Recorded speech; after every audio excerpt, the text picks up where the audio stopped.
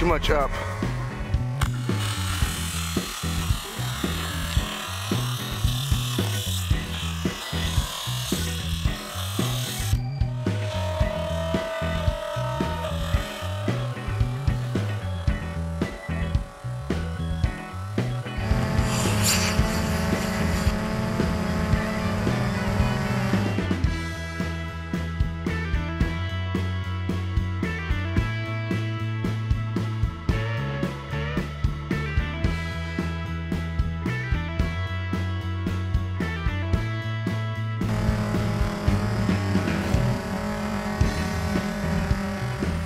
You know, something tells me this thing's never gonna work.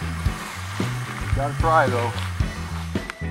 Well, seeing that the storm launcher is about as aerodynamic as a garage door, has no conventional steering, uses motors, I figure there's really only one way to fix it so it's going to really fly. And how is that, you say? Well, my friends, we make a launch rod that won't fall over and make it longer. So this is what I came up with. And the first runs that I did today when I told Jeff he wanted to see it too, so the second flights from then later. I hope you enjoy this. This is one fast storm launcher.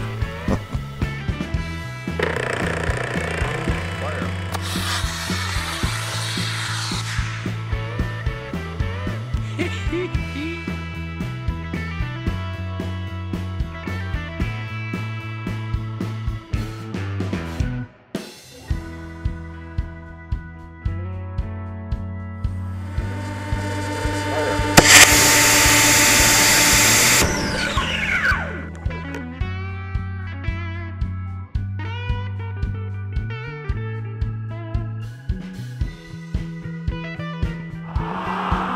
safe right here?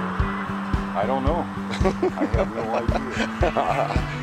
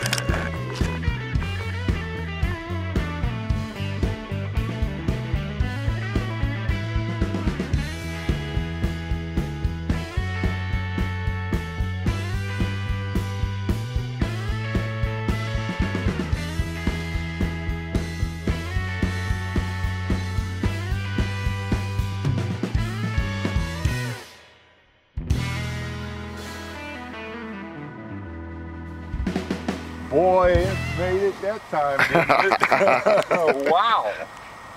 Straight.